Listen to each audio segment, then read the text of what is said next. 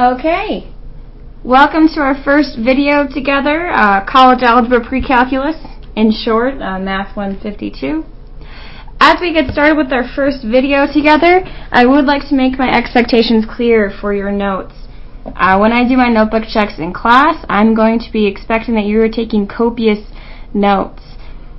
Essentially, if I'm writing something down, you must have the same essence written down in your notes uh, you must make sure that your notes match mine. When I grade your notes, I'm going to be comparing yours to mine and what I've written down in this video. So don't get lazy, don't just rush through the thing. Watch with me, follow along, and you will get full points every time. Alright, that being said, let's jump right in. Uh, we're going to go over chapter 1.4 today, analyzing graphs of functions. We're going to go over the vertical line test, uh, review what that means, and what it helps us find, uh, how to find zeros of functions, how to determine intervals, where functions are increasing or decreasing, and we're going to remember uh, how to identify even and odd functions. That one actually may be a new thing, so forget that I said the word remember. Alright, let's get started. So to begin, let's talk about the graph of a function. So, the graph of a function, uh, let's, for example, sketch one. Let's get our coordinate plane going here. Uh, let's go out one, two, three, four. Let's go up one, two, three, four. Let's go down one, two, three, four, and out to the left as well. One, two, three, four. Okay, beautiful. Uh, let's make some points. Let's make a point at negative 1, 1. Let's make a point at zero, three. Let's make a point at 2, negative 3. And let's make a point at 5, 2. So out here at 5 and then go up to make an open circle. Okay. And we're going to connect all of those points. And be sure to cross through 1, 0. And then be sure to cross through 4, 0 as well. Okay, there's our graph. Beautiful.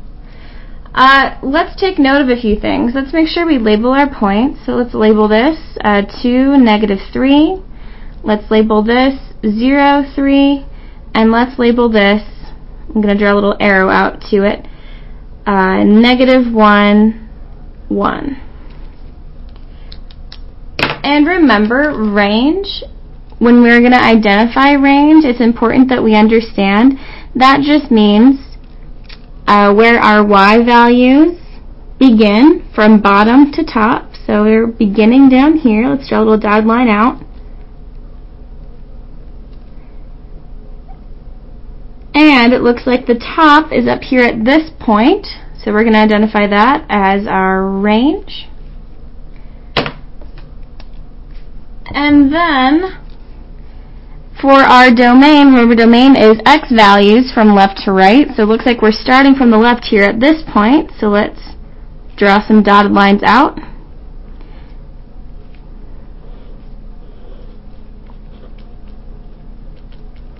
Okay, it looks like we got our graph going pretty well. Now let's answer some questions. So, say we were asked first to Part A, find f of negative 1 and of 2. Uh, find the domain. And lastly, find the range. Okay. So to answer each piece here, uh, let's start with f of negative 1. Well, check it out. f of negative 1. Remember, that would be our input or our x value. And it looks like when our x value is negative 1, we have a point there at negative 1, 1. So we can just say f of negative 1 equals 1, and we can say given that negative 1, 1 is a point on the graph.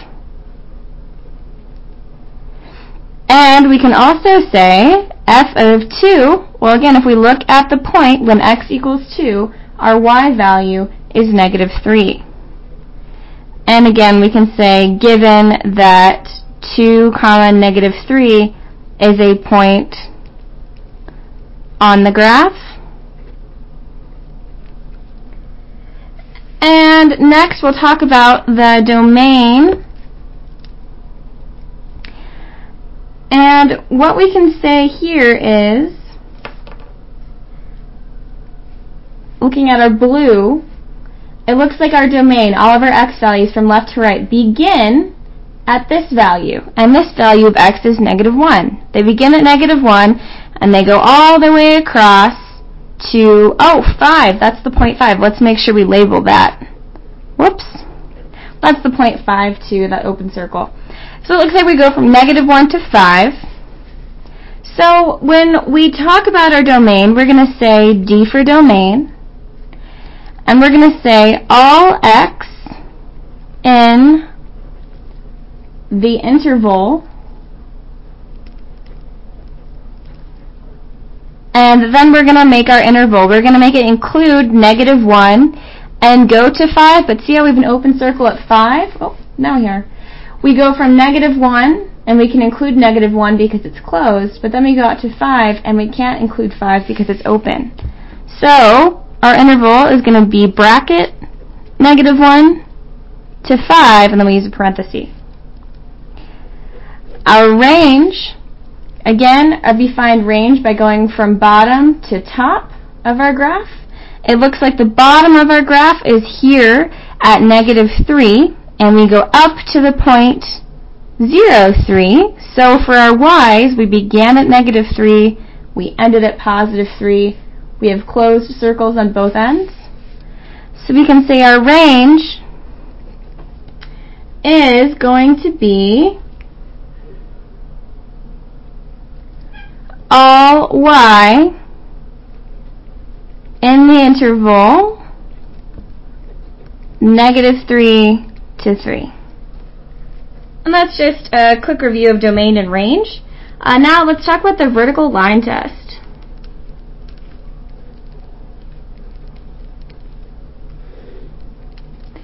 And remember, what the vertical line test does essentially is it determines whether a graph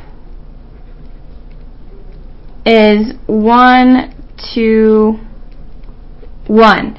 If a graph has that single output for every input.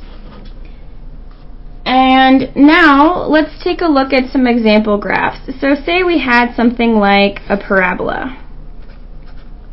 Right, that nice U shape. Now let's draw that vertical line test through it. Here's our vertical dotted line and check it out. Uh, when our line crossed through it, it touched at only one place. That means, we can do a little check mark, it passes, it's one to one, and it's a function. Cool. If we do something else though, if we put that parabola kind of on its side, so say we had something like plus or minus square root of x, that would look something like this, right? Our parabola on its side. If we do the same thing, if we draw a vertical line through this guy, uh-oh, check out what happened. It did not cross at just one place, it crossed it two. So that means Wah, wah, wah. It fails. We'll say fail. And it is not one-to-one. So it is not a function. Let's do a different uh, example real quick. So if we did something like this, let me get a different piece of paper, we can kind of see through that one. If we had a graph that looked like this, uh, let's see, maybe it does something, it goes, curves up, touches, and curves down, where there's nothing going on here in the middle. Well, check it out. If we threw a vertical line through here, that doesn't really tell us much. And that's okay. Uh, when we do the vertical line test, we need to make sure that we put that vertical line somewhere where our function is defined. Sometimes functions are undefined in certain intervals. For example, this function is undefined from this point to this point. There's nothing going on in here. It's undefined. So we need to test where it is defined. If we do that maybe in another color, let's look like right here. If we do a vertical line through this guy on this end, this guy totally passes. Check it out. He's crossing in only one place. And same thing over here. Crossing at only one place. So if we look at the green here, we can definitely see that this function does in fact pass the vertical line test. You just need to make sure that you perform the test in an interval where your function is defined. So we can do our check mark. We can say it passes. It is one-to-one. And it is a function. Beautiful. Alright, moving on. Let's talk about zeros of a function. Now, believe it or not, you guys have actually already been finding these. Uh, whenever you do that direction that says factor and solve, ding, ding, ding, you found zeros before. Uh, so our first example is going to look kind of familiar. But before we do that, let's make a quick note to ourselves. Remember, zeros of a function, that just means where x values equal Zero. Wow. How profound. And also, we can remember that if x values equal 0, that's where our graph, graphically, uh, we can see that the graph crosses the x-axis. Oh my goodness, it's not where the x values equal 0. I read my notes wrong. I'm sorry. This should say y. there I was, getting all sarcastic and made a mistake. Well, good thing I caught it. all right. Where y values equal 0, right? Where you, whenever you cross the x-axis, your y value is 0. Okay. Some good points to know. Now let's do an example. So, say we're given the direction, find the zeros of f of x equals what do we have here? Yes. Uh, 3x squared plus x minus 10. Now, just like I said before, remember that when you factor and solve, you're finding zeros. So, guess what? Uh, we're going to factor and solve this. We are interested where y equals 0, so we're going to set our f of x part equal to 0, and now we're going to solve this. We're going to factor to begin, and we can do that first by multiplying our a times our c. Let's use a different color for that. When we do 3 times negative 10, we get our negative 30. And now we have to play around with negative 30. We're asking ourselves, what are the two numbers that multiply to be negative 30 and add to be this positive 1? And the answer is positive 6 and negative 5. 6 times negative 5, you bet that's negative 30. 6 minus 5, that's positive 1. We're good to go. That's what we need. So now we take these two numbers, we make them our coefficients of x.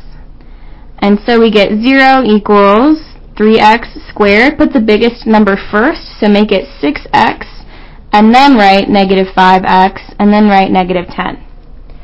Now, I'm hoping that we realize when we get these four terms all together like this, uh, we're getting a little bit easier to see here that we can just factor by grouping. So let me use a different color. We're going to factor these two, and we're going to factor these two. From these two, we can take out a 3x. When we do that, we get x plus 2. Over here, we take out a negative 5 in order to get that x plus 2 in our parentheses. Now remember, you take what's outside and you take what's inside. What's outside is 3x minus 5, and what's inside is x plus 2. And don't forget your equals zeros. Those are always there.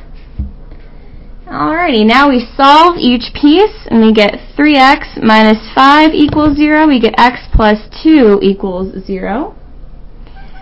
And here we get 3x equals 5, x equals 5 thirds.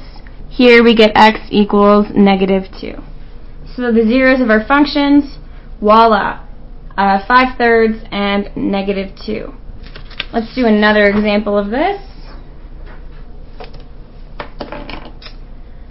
Let's say that we had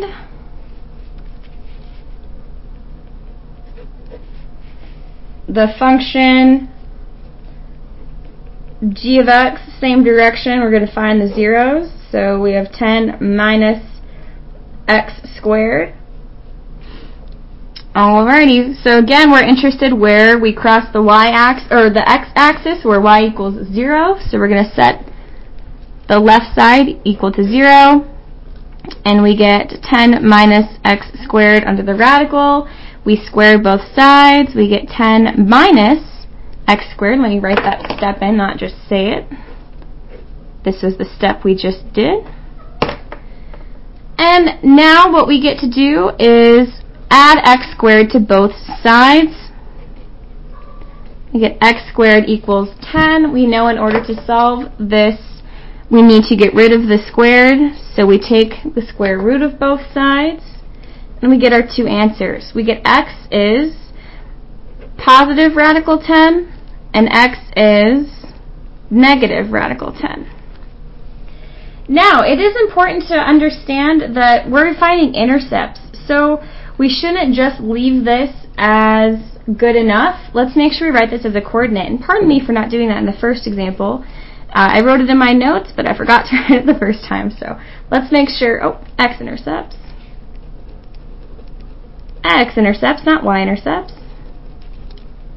x-intercepts are going to be at positive radical 10, 0, and negative radical 10, 0. And for our last examples, we should write in there that our x-intercepts are 5 thirds 0, and 2, 0. Alright, so make sure you put that in there. Last example of this, we'll move on afterwards. So say that we wanted to find the zeros of the function h of x equals 2x minus 3 all over x plus 5. Now we're going to do something and then we're going to talk about the x plus 5 piece. But first let's set 2x minus 3 equal to 0. So if we have 2x minus 3 equals 0, we get 2x equals 3. We would divide both sides by 2 and we get x equals 3 halves. Now, here's what's important. We know that we have that x-intercept at 3 halves, comma 0. And here's why I only did the top piece. If we have a 0 on top of a fraction, that automatically makes the whole thing 0. 0 over anything is 0. Uh, we know that from just basic fractions. And I did not make the bottom 0, and here's why. Remember that if we were to set the bottom equal to 0, we would not be finding what makes the entire function zero, that would be finding something that makes it undefined. uh, we can see pretty clearly here that negative 5 is what makes this undefined in the bottom if I had a negative 5 plus 5. Uh, however, negative 5 is not a 0.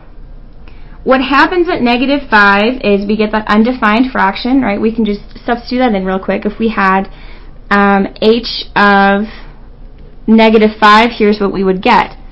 We would get 2 times negative 5 minus 3 all over negative 5 plus 5. We would get negative 13 over 0. But remember that 0 makes this whole thing undefined. So the way that this presents itself in our graph is as a vertical asymptote. So make sure, oops, pardon me, just knocked that over. Okay, there we go. So let's make sure we identify that. A vertical asymptote at x equals negative 5. And let's put that into our calculator real quick and see exactly what that looks like. So if we go to y equals and we input our function, I did that ahead of time, uh, we have 2x minus 3. Oh, how about that? Is it still too bright? Let's try moving the paper out of the way. Does that help anything?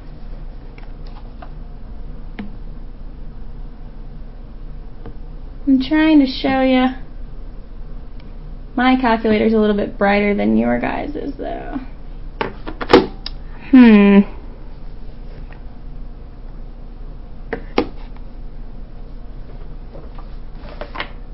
Technical difficulties here. Give me one minute. Let's see if we can fix this a little bit. Oh, there we go. Beautiful. Okay. So, when we put this into our calculator, we can see we have 2x minus 3 over x plus 5 right here. Let me make that maybe a little bit better. There we go. Okay. And when we press graph, oh, goodness gracious. Oh, I have my tangent line on. That's why. Okay. Give me one second.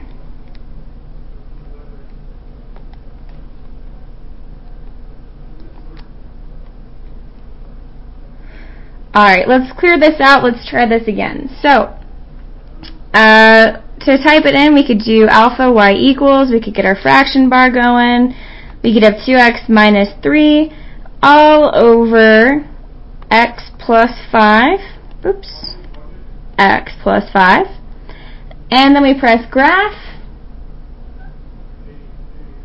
That is what I wanted to show you. Okay, so here's what we can see that's happening with our graph.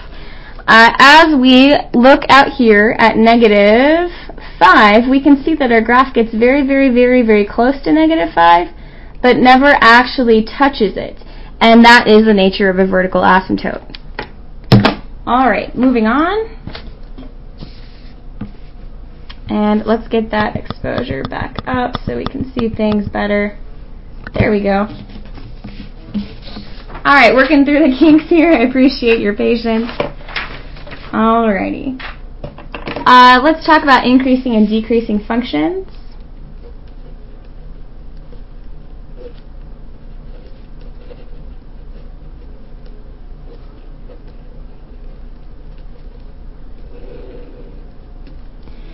Now, uh, this is a pretty basic thing. What it essentially means is that uh, increasing on a graph means that your slope is positive. Uh, decreasing means that your slope is negative. And then when you have a constant,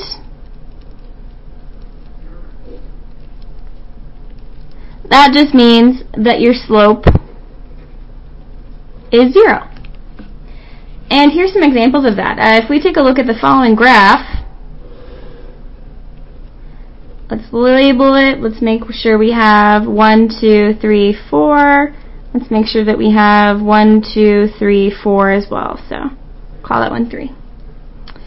Let's make a point at 0, 1, at 2, 1, at 4, 4.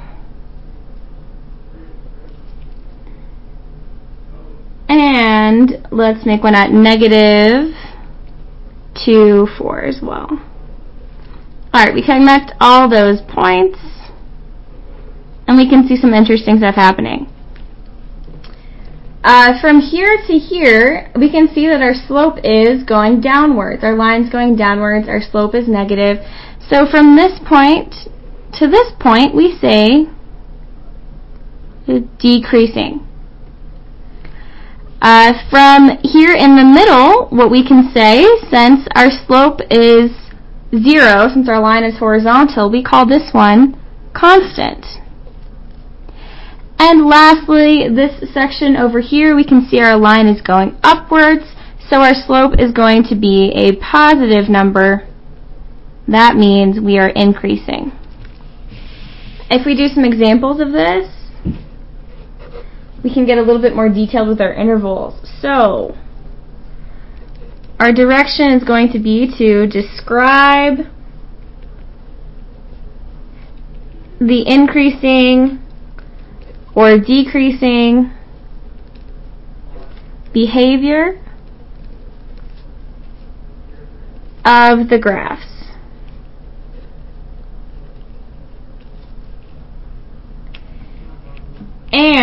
What we're going to do is look first at the following graph. We're going to label 1, 1, 1, and 1, 1, 1, negative 1, and negative 1.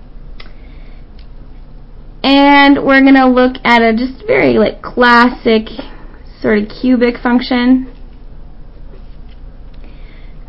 And what we can see is going on here is that from here to here, it's going up. From here to here, it's going up.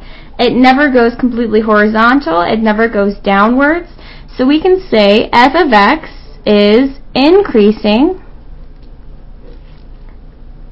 over the interval from negative infinity to positive infinity. For all of our x values, this thing's going to be increasing. Uh, if we have something that looks a little bit different,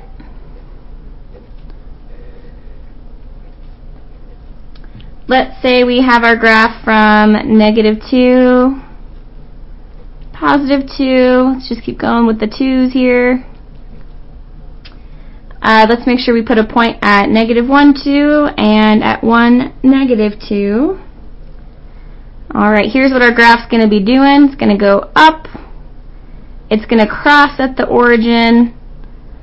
It's going to touch that point that we made before, and it's going to go and get close to 2.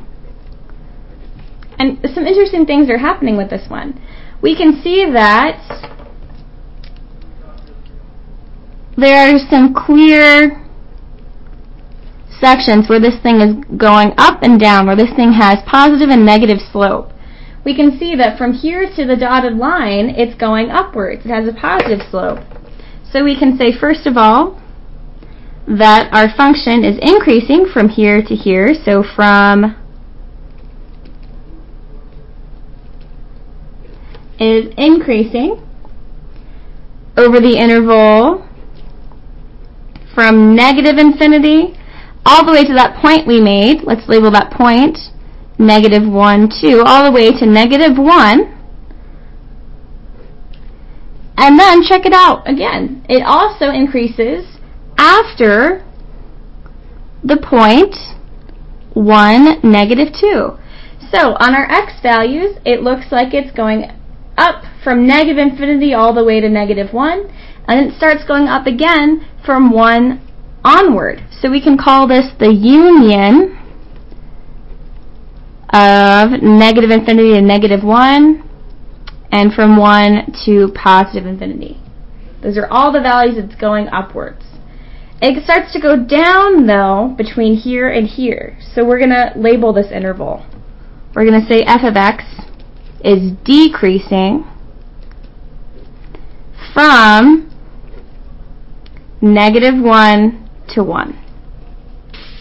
Okay.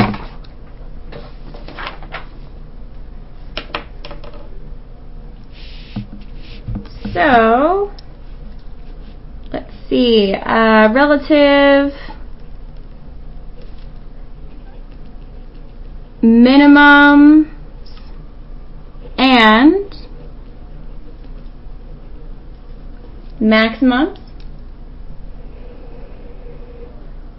of functions.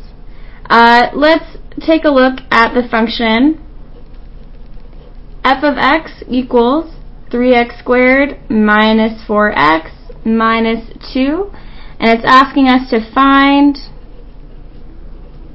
the relative minimum. Uh, what your book tells you to do, I don't really like. It tells you to use trace, and that's silly. Don't ever use trace. Trace is like junior high math, and you guys are way beyond that. So what we're going to do to find the relative minimum is use our calculators uh, to help us out with this. So let me figure this out again. Okay, that's better. We'll go to our y equals. We'll type in our function, which is 3x squared minus our 4x minus 2, and we press graph.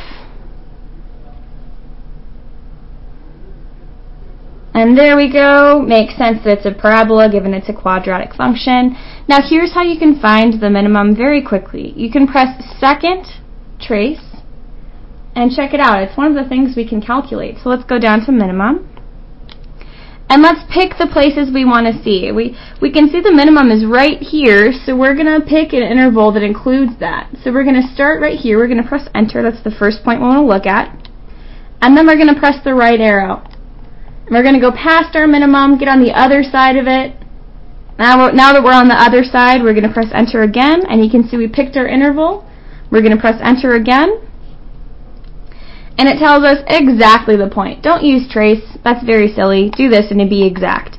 So we can see that our minimum occurs at 0.67 for our x values and at negative 3.33 repeating for our y values. So let's write that in. And let's make this brighter again. Beautiful. Okay. So we can say the minimum and we'll label our point that we found 0.67 comma negative 3.33 okay. Last topic and I'll end our video. Even and odd functions. Alright so we can be even or we can be odd. Even functions occur when you substitute in negative x and you get the same function. Odd functions occur analytically when you substitute in negative x and you get the opposite of your function. There's two important notes I want you to write down below these. Below even, write also known as, aka, y-axis symmetry. We talked about testing for symmetry last week, and we found to find y-axis symmetry, you simply replace all of your x's with negative x's, and if you get the same function, you have y-axis symmetry. So that's important to understand. Even functions have y-axis symmetry odd functions, you need to understand that it isn't just one part of the function that needs to be negative. It needs to be the entire thing. They need to be opposites. So write the word opposite. Uh, not just one sign changed, but every sign of the original function needs to be changed. Okay, let's go through some examples of uh, what I mean by this. So let's determine the direction is going to look like this typically. Uh, determine if the function is even, odd, or neither. Can we see that okay? Yep, okay. Even, odd, or neither, let's look at g of x equals x cubed minus x. Okay, so let's start to substitute in. If we looked at g of negative x, we would get negative x cubed and minus negative x. Alrighty. So, looks like g of negative x, when we simplify negative x cubed, remember cubed roots, you can have negatives. So it would become just negative x cubed. Those two are the same. And then a negative times a negative will get us a positive x over here. And if we take a look at this, our result with our original g of x, we can see that we changed the sign of everything. Uh, what happened was we took our original function and we changed the sign, changed the sign. So what's happening here is we have a negative of our original function. And so that means we have an odd function. Moving on, can we just move this down a little bit maybe? Yeah, perfect, okay. Uh, last example I'll show you. Oh wait, I have two more. I lied, sorry. Second to last. Same direction if we have h of x equals x squared plus 1 and we want to find even or odd, we substitute in negative x.